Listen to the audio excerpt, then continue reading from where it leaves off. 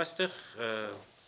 կարևորը ընդհանրապես հակակոռուպցիոն փորձը, ինչպես դուք շատ ճիշտ նկատեցիք, հիմնախնդրի պատճառը անելն է։ Եթե դա պիտի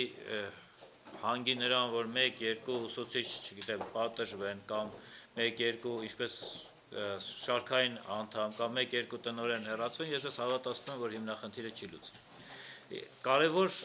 հիմնահարցը այստեղ նախ հասկանալ թե կոռուպցիոն ռիսկերի պատճառները ինչով են գալիս, որտեղից են գալիս եւ այնուհետեւ այդ պատճառների հարթեցման ուղղությամբ գործնական ծրագրեր մշակել։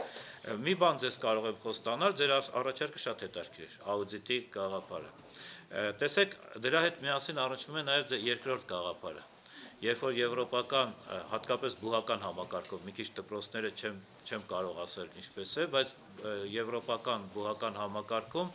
հավատարմագրումը սկսում է ինքնագնահատումից։ Եթե ինքնագնահատման մեջ հակակոռուպցիոն ռիսկերը չեն ներառնված եւ հակակոռուպցիոն ռիսկերի դեմ ինքը համալսարանը չի նախանշում իր գործիքները, վերևից չի կարող իմ խորին համոզմամբ։ Այսինքն մենք նախ պետք է պահանջենք, որ ինքնագնահատման համակարգում այս գործիքները ներառնված լինեն եւ հետո տեսնենք թե ինչքանով է ձևական այդ գործիքների կիրառումը տվյալ համալսարանի կողմից, այսինքն համալսարանը ինքը գիտակցում է, որ ինքը այդպիսի խնդրեմ ունի թե չի գիտակցում։ Եվ եթե գիտակցում է, հաղթահարումը որն է։ Եվ այստեղ ձեր ասած գաղափարը իսկապես շատ հետաքրքիր գաղափար է։ Մեխանիզմներին ես ծանոթ չեմ, եթե կարողանաք ինձ մի ուղղություն տաք, սիրով կարող եմ այդ բանը։ Այսինքն գաղափար աուդիտի շատ լավ գաղափար է։